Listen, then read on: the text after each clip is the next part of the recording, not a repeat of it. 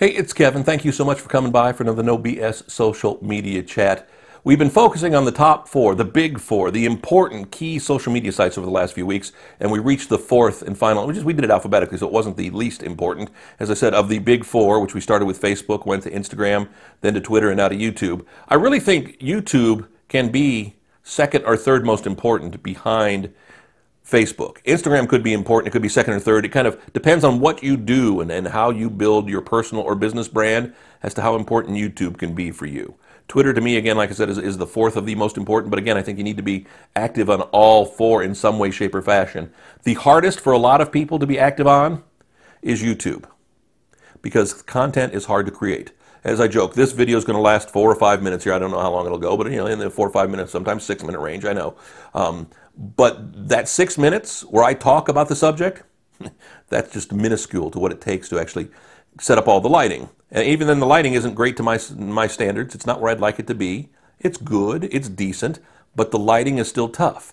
Well, then you got to go into the post production, got to go into the editing. Then I tweak some of the coloring in it to make sure I get a, a good coloring. Then I got to make sure I match the audio, make sure the audio is good. Then you put the intro, the outro, then you upload it, and man, it takes a good hour per episode. So it's very time consuming to create content on YouTube. What's interesting too with YouTube is in the last six months to a year, YouTube has really started focusing on the big players. They've started focusing more on the music business, more on the entertainment business, looking for ways to leverage those big accounts. The first sign we saw of that is when they basically said you had to have now, like, what is it, a thousand subscribers to be able to monetize your YouTube channel.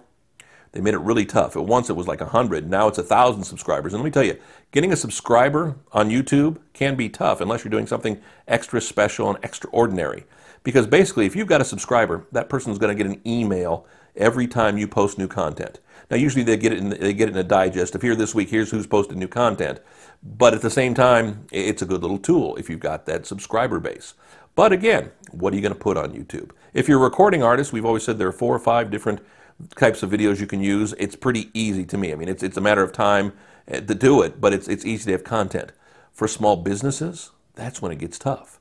I've got a buddy who I've talked about before who runs a jewelry store, and he's been able to hook up a camera to his jewelry repair machine, and he can show you as he repairs diamond rings, as he repairs gold and silver, and that's fascinating. It's also great for people who have small businesses. Again, like I said, if you're selling video cameras, if you're selling something that you can you can show people. You can unbox it. You can show them how to set it up. In fact, when I bought this camera, the Sony camera years ago, I actually went on YouTube to see an unboxing of it and to see how to set it up properly for what I needed it for. YouTube was great for that. Now again, you've got to find a reason to have content, and that's the hardest part.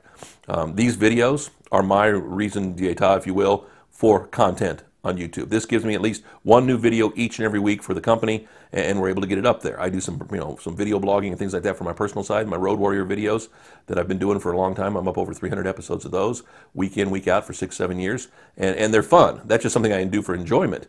That's my way of having content on my personal page. But it's about finding what you can do, what you can bring to the table. I know, you know, I know recording artists who do cooking shows. I know recording artists who do interviews of other artists. I know people who do backstage stuff. Again, it depends on what you do for a living, what you do to build your brand, whether it's a business brand or a personal brand, as to how well you can use YouTube. And that's where it will determine if it's the second most important social media site or the third. Again, the hardest part is the time spent, the amount of effort spent, and then sometimes the return. Because the one thing I've seen with YouTube over the course of the last couple of two, three years, less and less return. With these videos, I get less comments, I get less visibility on a weekly basis than I did when I started them uh, a few hundred episodes ago. It's just because there are more videos all the time on YouTube. There's more people with more stuff. And that's the hard part, cutting through the clutter. Then you've got to use your other social media channels, your Twitters, your Instagrams, your Facebooks, to promote the fact that it's on YouTube. And that's the cool thing about them. You can promote each and every one of them from the other sites. I even actually will upload these on Facebook too because I get more engagement by using this video three or four days after I post it on YouTube. I then post it to Facebook to get further engagement. Again, I don't care where people watch, it's just that they do. So it's still worth using video content. And they say video content, the amount of time people are spending with online video, going up and up and up all the time. Video and audio content, the key to building a brand on the internet. Next week, another No BS social media chat. Go back and watch if, you, if you've missed Facebook, Instagram, Twitter. We talked about the big four. Here we're talking about YouTube. It's important to really focus on those four. And that's why I said right now, if you're focusing on social media for building a, a personal or business brand, focus on the big four in some way, shape, or fashion. You've got to figure out which one to use most, which one to use where, and how for you. We can talk about that for free if you want. Absolutely free. Phone number, email address coming up here at the end of the video. Would love to chat. Reach out. Let me know. We'll talk soon. See you next week. Thanks.